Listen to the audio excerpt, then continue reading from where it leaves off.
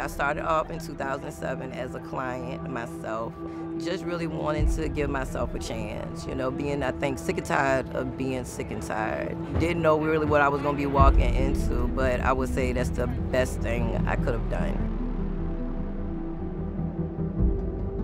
25 years of RBHA, the Richmond Behavioral Health Authority, 13,000 people a year. For those out there who may have forgotten, we are still in a pandemic, and we have seen the impacts of that pandemic on all of our lives. We've dealt with restrictions. We've dealt with being locked down. And some in our community have dealt with even greater than that. And that's where RBHA has stepped up.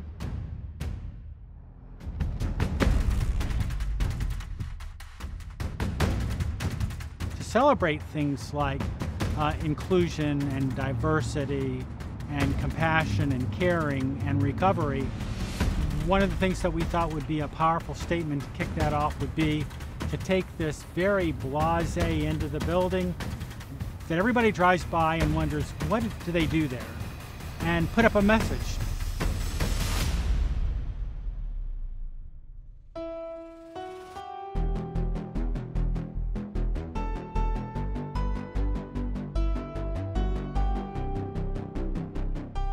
Was really awesome to see them take RBHA's mission and turn it into this visual element that fully captures how we work with our community to create our wraparound services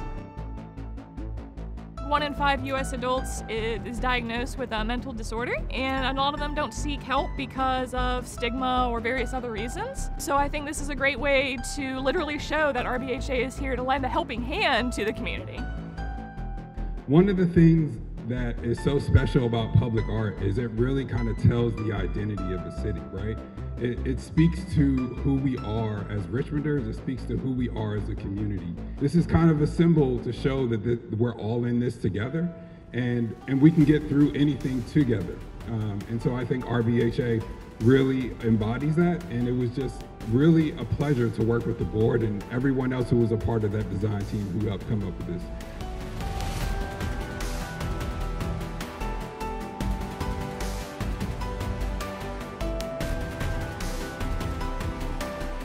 At one point, the individuals here cared about me when I didn't care about myself.